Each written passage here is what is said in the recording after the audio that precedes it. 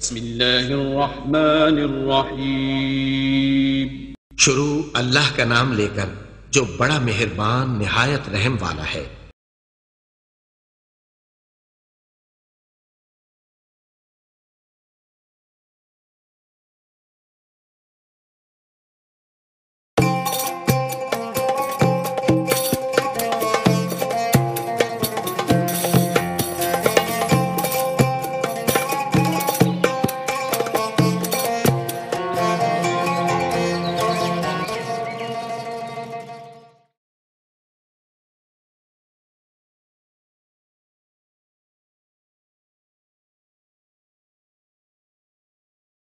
بسم الله الرحمن الرحيم.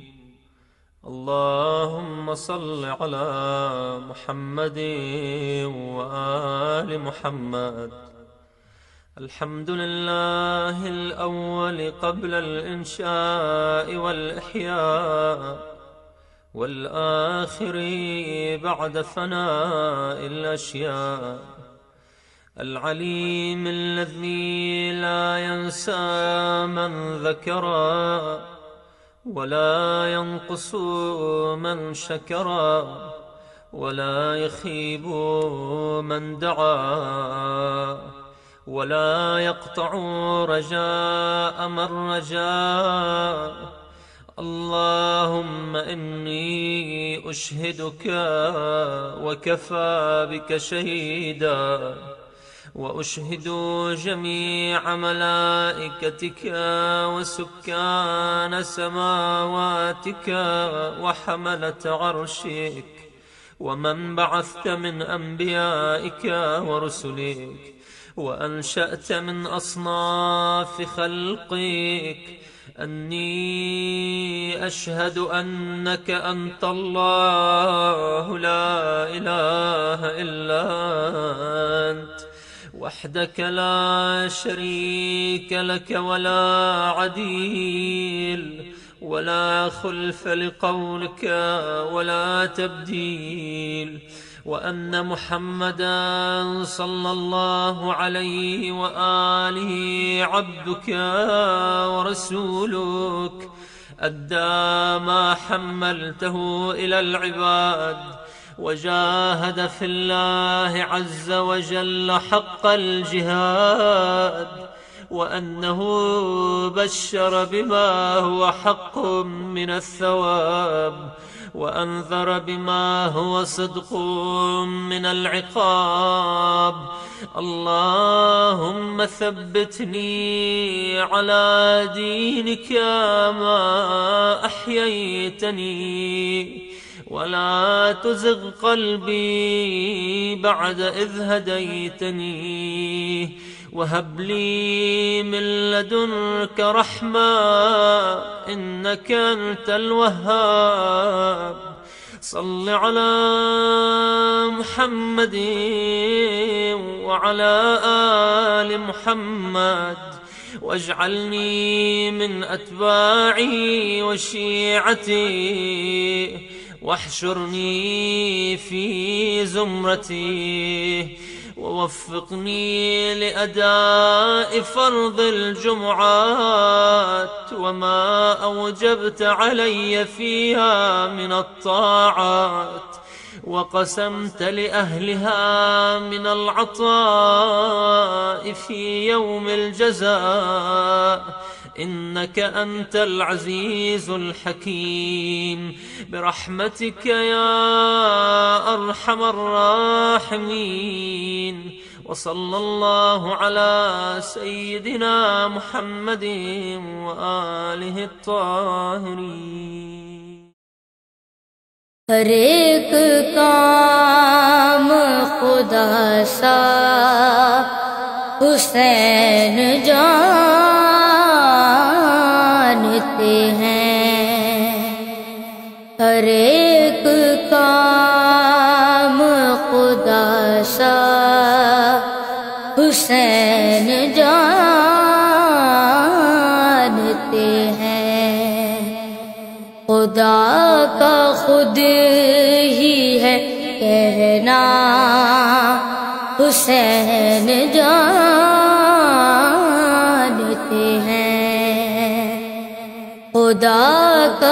خود ہی ہے کہنا حسین جا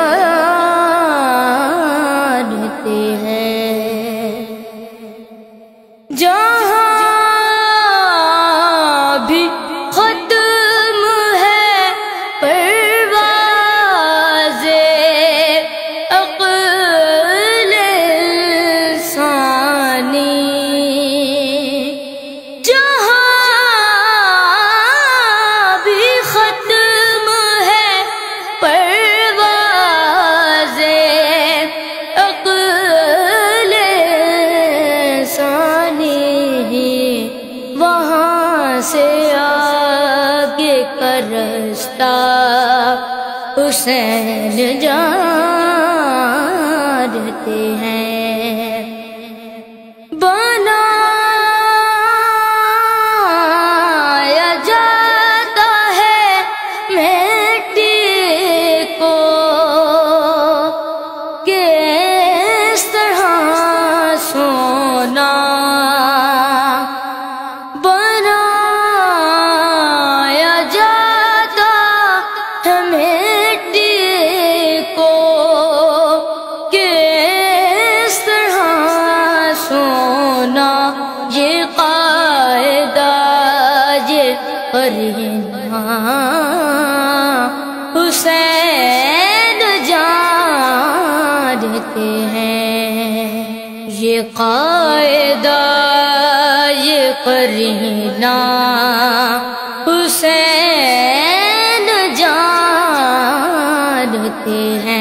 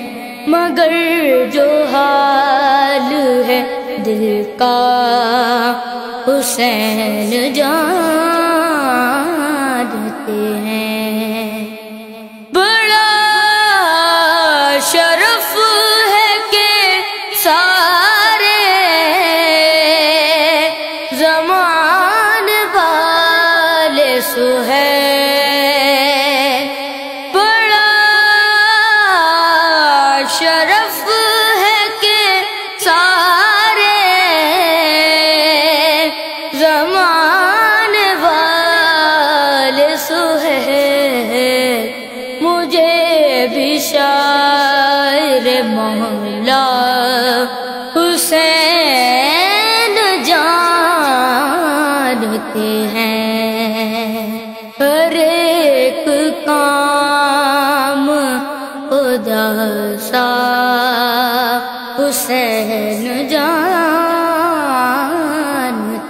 ہیں۔ جی ناظرین آپ کو پروگرام میں خوش آمدید کہتے ہیں اور آج انتیس جولائی ہے۔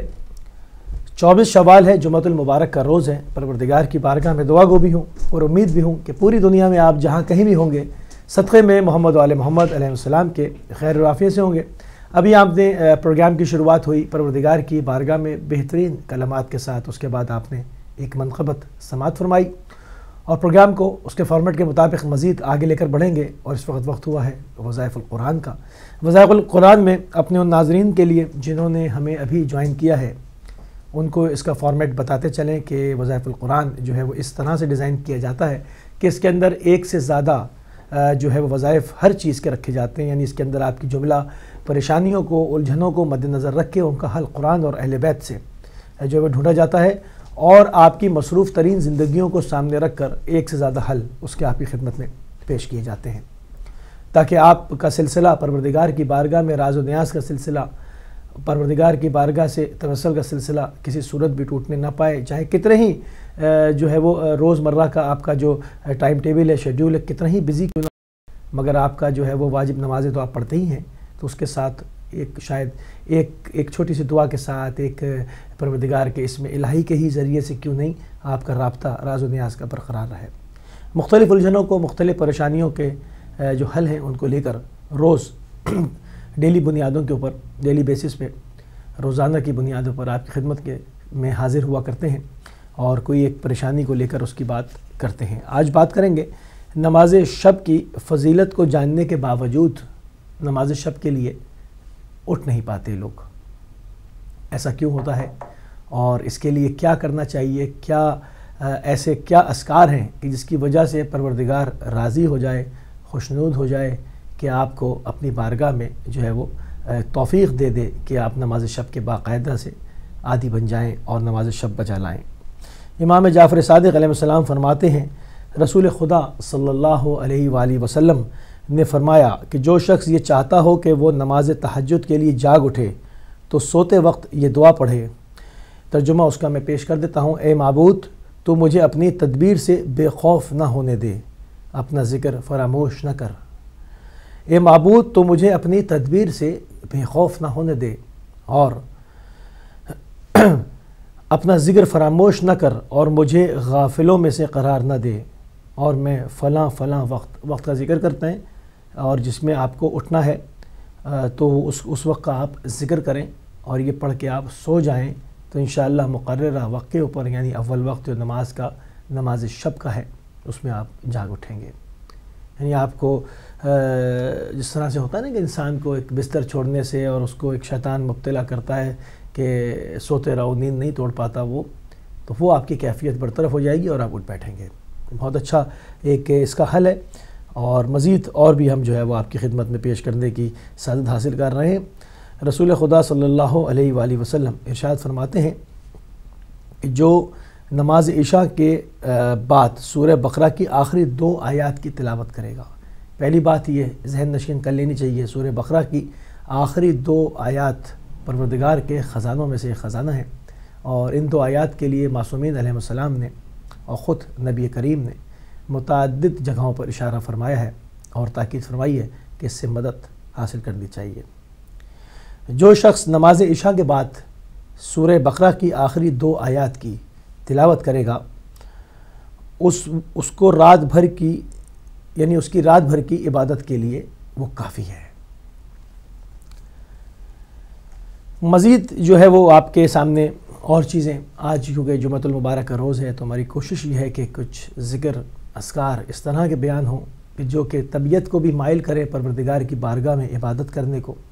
اور جو لوگ عبادت کرنے کے شوقین ہیں، مگر بعض الجھنوں کی وجہ سے وہ پوری جستجو کے ساتھ، پوری قلبی لگاؤ کے ساتھ، پورے قلبی کیفیت کے ساتھ پروردگار کی بارگاہ میں حاضر نہیں ہو پا رہے ہیں، مگر اندر سے مائل ہیں اور اس بات پہ ملال بھی رکھتے ہیں کہ ایسا کیوں ہو رہا ہے، تو ہم کوشش کریں گے کہ ان اسکار کے ذریعے سے آپ کی اس پریشانی کو برطرف کر دیا جائے، ہمیشہ ہمیشہ کے لیے برطرف کر دیا جائے۔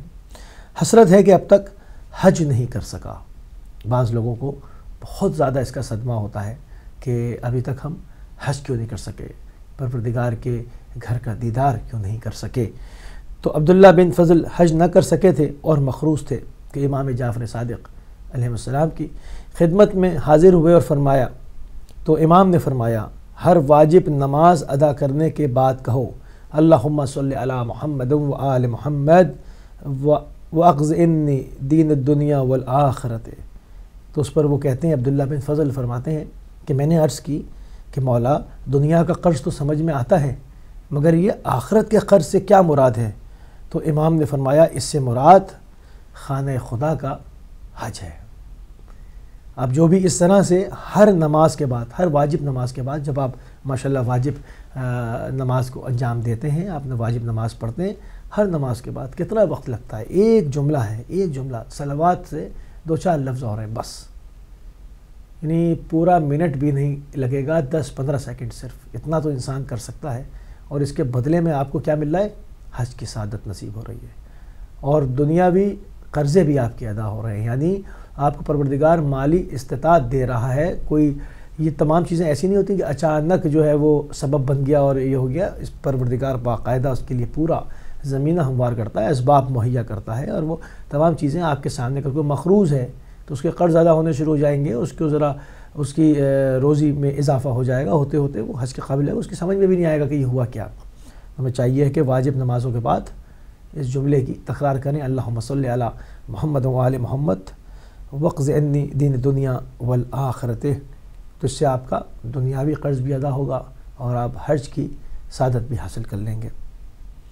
دوسرے حل میں امام جعفر صادق علیہ السلام ارشاد فرماتے ہیں کہ جو شخص ہر روز باقاعدگی سے سورہ نباہ کی تلاوت کرے اس کو جو ہے وہ آپ وظائف الابرار میں بھی سورہ نباہ کے ضمن میں اس اس اس کو پڑھ سکتے ہیں اس کے فضائل میں، اس میں یہی جو ہے وہ جملہ لکھا گیا ہے۔ جو شخص ہر روز باقاعدگی سے سورہ نباہ کی تلاوت کرے گا تو انشاءاللہ ایک سال کے اندر اندر اسے خانہ کعبہ کی زیارت ہوگی۔ لیجیے۔ اب اس کے اوپر ٹائم بھی دے دیا گیا، ضمانت بھی دے دی گئی۔ امام جعفر صادق علیہ السلام فرماتے ہیں، سورہ نباہ سال پورا نہیں ہوگا۔ اگر آپ نے آج آج کے دن سے، آج جمعۃ المبارک ہے، آج چوبیس شوال ہے، انیس، انتیس جو ہے، جولائی کی تاریخ ہے، آج آپ اپنی ڈائری میں لکھ لیں اور آج سے آپ نے سورہ نبا روز ایک مرتبہ پڑھنے کا تاہیہ کر لیا کہ جناب، دنیا ادھر کی ادھر ہو جائے، میں نے سورہ نبا کی تلاوت روز کرنی ہے۔ تو اگلا سال انشاءاللہ انتیس جولائی آنے سے پہلے پہلے آپ خانہ خدا کی زیارت سے مشرف ہو چکے ہوں گے۔ اس میں آپ کا کوئی پیسہ، روپیہ پیسہ خرچ نہیں ہو رہا۔ کسی چیز کا کچھ نہیں ہے۔ آپ کو صرف سورہ نبا پڑھنے کو کہا جا رہا ہے۔ آپ اس کے اوپر مداوت کریں۔ اسباب مہیا کرنا پروردگار کا کام ہے کیونکہ وہ مصب الاسباب ہے۔ وہ آپ کے لیے بہترین اسباب مہیا کرے گا اور آپ اس کے گھر سے، گھر کی زیارت سے جو ہے وہ مشرف ہو سکیں گے۔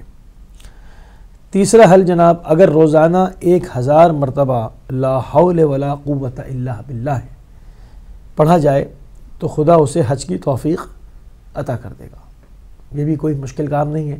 چلتے پھرتے بھی کر سکتے ہیں، اٹھتے بیٹھتے بھی کر سکتے ہیں۔ بعض لوگ اپنے ساتھ کاؤنٹر رکھتے ہیں اور اس کاؤنٹر پہ کہ اس کو کاؤنٹ کرنا آسان ہوتا ہے۔ اگر آپ پوری تصویر لے کے ہر وقت نہیں اٹھ بیٹھ سکتے، چل سکتے، تو آپ کاؤنٹر رکھ لیں۔ ہزار مرتبہ آپ نے لا حول ولا قوت الا باللہ جو ہے اس کو پڑھنا ہے، اس کا ذکر کرنا ہے، اس نیت کر کے کہ بھی میں کس وجہ سے کر رہا ہوں۔ تو اس میں آپ کو اس کا ثواب بھی ملے گا اس کے پڑھنے کا۔ آپ گناہوں سے بھی محفوظ رہیں گے۔ آپ یقیناً کوشش بھی کریں گے کہ میں باوضو بھی رہوں۔ یہ اتنی ساری چیزیں مزید ایڈ ہو جائیں گی اور اس کے ساتھ آپ کو حج بیت اللہ کی زیارت کا شرف حاصل ہو جائے گا انشاءاللہ۔ تو یہ تمام چیزیں ہیں۔ جو آپ کے سامنے پیش کی جا رہی ہیں اور کہتے ہیں کہ بعض نسخوں میں ہر روز کا لفظ نہیں ہے، اگر ایک دن بھی اس ذکر کے درمیان بات نہ کرے اور اس ذکر کو ختم کرے تو بھی کافی ہے۔ اللہ اکبر۔ یعنی اگر ایک دن خلوت میں بیٹھ جائے، تنہائی میں بیٹھ جائے اور کسی سے کلام نہ کرے، پوری توجہ، پورے وجود کے ساتھ، پوری فکری طور پر اپنی پوری جو توجہ ہے وہ پروردگار کی طرف رکھے اور ایک ہزار مرتبہ اس ذکر کو پڑھے تو بعض نسخوں میں آیا کہ ایک دن کا ذکر بھی کافی ہے۔ کیونکہ پروردگار کو بعض دفعہ انسان کا بس کوئی ایک عمل پسند آ جاتا ہے اور وہ اس پر مہربان ہو جاتا ہے۔ مہربان تو وہ اس کے اوپر اس کے گناہ کرنے کے باوجود رہتا ہے کیونکہ اس کو اس نے خلق کیا ہے اور اس کی روزی کا ضامن ہے، وہ اس کو معاف کرتا رہتا ہے اور بعض دفعہ گناہوں کی وجہ سے جو ہے وہ اس کے روزی کو بھی بند نہیں کرتا، مگر یہ کہ اس کو ڈھیل دیتا رہتا ہے، یہ تمام چیزیں ہیں۔ مگر کسی عمل کے قبول ہونے کے لیے ضروری نہیں ہے کہ ہم کوئی بہت طویل عمال انجام دیں۔ بعض دفعہ ہمارا ایک سجدہ جو پروردگار کی بارگاہ میں خالص ہو، وہ بہت بڑا کام کر جاتا ہے۔ تو بعض نسخوں میں آیا کہ کچھ ضروری نہیں ہے کہ آپ اس کو روز بھی پڑھیں۔ اگر ایک مرتبہ آپ کسی سے بات نہ کرتے ہوئے اس ذکر کو نکال دیں، ہزار مرتبہ انجام دے دیں تو بھی کافی ہے۔ بہرحال کوشش کریں کہ روز ہو کیونکہ لاہور پڑھنی یہ بھی بہت اچھی چیز ہے۔ اگر روز اس کی عادت پڑ جائے اور اس کے ساتھ استغفار بھی کیا جائے تو بہترین ہوگا، بہت خوب ہوگا۔ لکھا ہے کہ اور حج نصیب ہو جائے گا اور ذکر یہ ہے کہ لا حول ولا قوت اللہ بلّہ العلی العظیم۔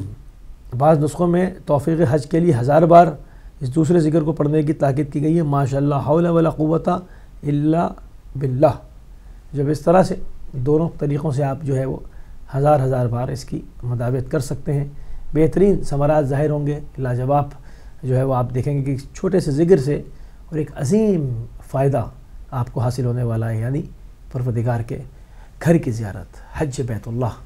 یہ عمرے کا بھی لفظ نہیں آیا، حج ہر جگہ حج کا ذکر آیا۔ یعنی آپ حج بیت اللہ سے مشرف ہو جائیں گے۔ میں اجازت چاہوں گا اس سیگمنٹ سے اس دعا کے ساتھ کہ پروردگار کی بارگاہ میں ہم دعا کرتے ہیں۔